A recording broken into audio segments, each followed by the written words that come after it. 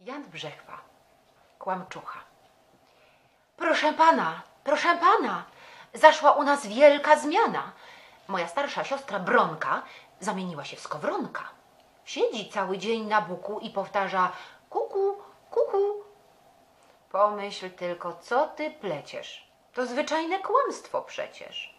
Proszę pana, proszę pana, rzecz się stała niesłychana. Zamiast deszczu u sąsiada, dziś padała oranżada. I, i w dodatku całkiem sucha. Fe, nieładnie. Fe, kłamczucha. To nie wszystko, proszę pana. U stryjenki wczoraj z rana abecadło z pieca spadło. Całą pieczeń z rondla zjadło, a tymczasem na obiedzie miał być lew i dwa niedźwiedzie.